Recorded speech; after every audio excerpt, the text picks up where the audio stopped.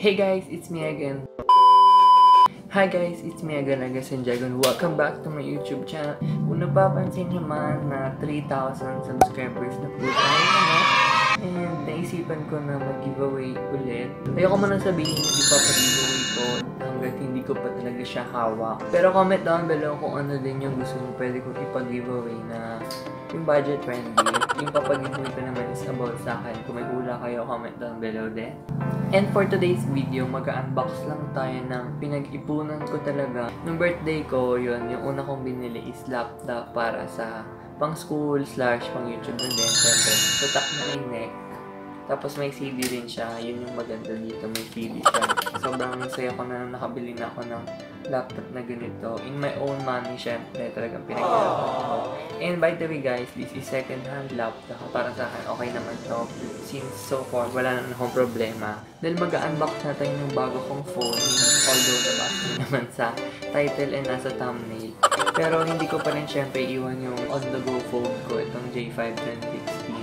Dahil ito talaga yung pang video ko, pang vlog, and lahat-lahat-lahat dito. Sobrang daming nagtatanong, sabi, Kuya Regan, akong gamit yung camera, but ang super, ang super linaw. Sabi, bakit ang, ang super linaw ng camera ginagamit nyo? DSLR po ba yan? Nabumili na po ba kayo? Daming tanong na ganun, pero ito lang po, ito na po yung sagot. Samsung J5 1016 lang po yung ginagamit ko. Tapos yung gamit ko ngayon is J7 Pro. Then, yung pang editor, ang dami na nagtatanong anong editor ko. Filmora version 8.6 dahil nag-update na sila. I don't know kung 8.6 or something. Basta nag-update ako nakarang araw lang. So anyway, ang haba na lang sinabi ko, mag-unbox na tayo ng binili kong iPhone 6.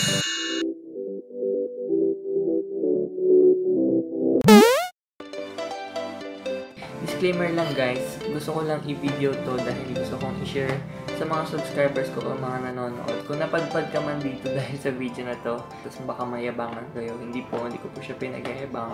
Dahil pinag-ipunan ko po talaga itong iPhone na to at isa to sa mga bucket list ko na magkaroon din ng iPhone dahil avid fan ako ng Android phones since then and then now, nag-try din ako mag-iOS. Kung napapansin nyo man yung box na iPhone 6s Plus, hindi talaga 6s Plus yung binili ko dahil it's only second-hand phone. Hindi ko na napapalitan yung box na para sa talaga iPhone 6. Pero anyway, okay na yon Kasi naman, nagamit ko yung phone, diba?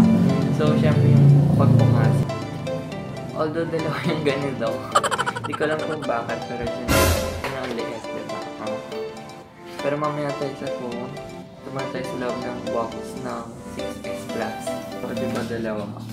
Meron ding paperworks na pang 6S Plus din dahil hindi naman nga ito yung box. Paulit-ulit ako. Pero ginamit niya yung stickers or what. So, ayan. 6S Plus pa din. Although, try ko din balikan kung or ipapalit yung box. Although, alam niya naman na sa mga iPhone users, alam niya na yung laman ng box. Pero sa mga hindi po alam, ito po yung laman niya. Sa loob. Merong lightning cable na ganito. Hindi na siya micro USB. Then next naman is yung cable power adapter. Tsaka itong, syempre, yung Apple headset. Wala nang laman sa box. Ito resibo yan ang binili ko. Kung interested pala kayong bumili nito, although hindi naman ito sponsored, binili ko siya sa Gadget Worlds PH. Super afford super afford super affordable na prices ng mga iPhones nila.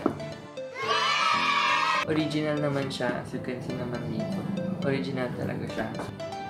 Ito yung likod. Napalagyan ko na siya ng screen protector. Sa likod, to sa harap.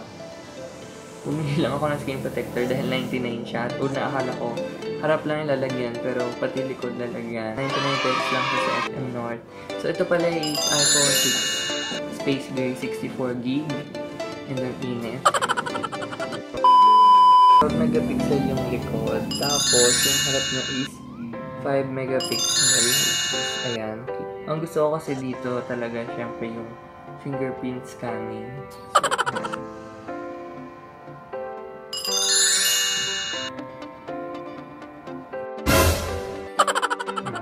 Yun talaga yung pinaka-favorite part ko sa iPhone. Ito yung dati kong phone. Same pa rin siyang ginagamit ko guys. Ito yung pang vlog, tapos ito yung pang social media and personal device ko. Ang size kasi nito is 5.2, tapos ito 4.7 inch lang. So, ayun, although maganda naman siya parehas, wala naman. Ito kasi super naglalag na siya. As in, naiinis na ako kaya I buy this phone na second hand lang naman kaya hindi to siya hindi siya yung 35k 45k hindi siya ganun kaya binili ko na siya dahil super mura nga lang siya. At tingin ko naman deserve ko dahil graduate na ako senior. At own money ko naman to so wala naman siguro problema about doon diba ayaw ko naman din humingi na sa mga magulang ko dahil alam ko hirap din sa pagpapaaral so anyway yung case nga pala nito is ito lang bigay ni Jester.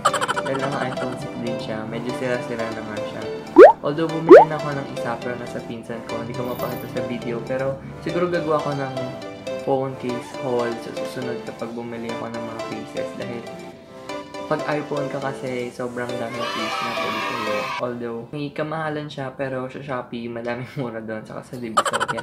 Ang init ko talaga. Pinagpapawisan na ako.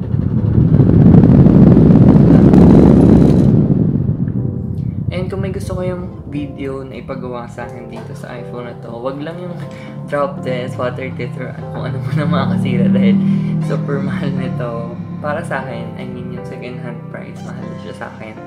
So, kung ano man gusto nyo what's on my phone, comparison camera, or gawin kong vlog, itong ipang, ito yung gagawin kong pang vlog in one vlog, ganun, or what. Basta comment down below kung ano gusto nyo gawin ko sa iPhone 6 ko. So, kung iPhone users din kayo, comment down below kung anong apps yung tingin nyo magagamit ko sa mga features and stuff. So, yun lang. Um, follow nyo ako sa aking mga social media accounts. Sa screen lahat yan. And then, may Facebook page din po tayo. Baka gusto nyo i-like, ano. And then, gusto nyo sumali sa hashtag SEFAM group sa page. Sa link din yan. And then, ilalagay ko na rin yung group chat link sa baba. And i-accept ko na lang kayo dyan. And yun lang. Sana nagustuhan nyo yung quick unboxing at slash konting um, TMI. So, yun lang. Kung nagustuhan nyo yung video nito, please give a big thumbs up.